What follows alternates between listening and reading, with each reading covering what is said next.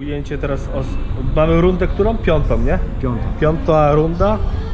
Tutaj wam pokażę Obaj w tą samą stronę obroty robimy.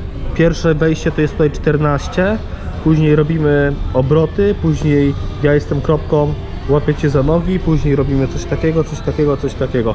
Na tą rundę mamy 30 sekund, a później mamy minutę wolnego latania, nie?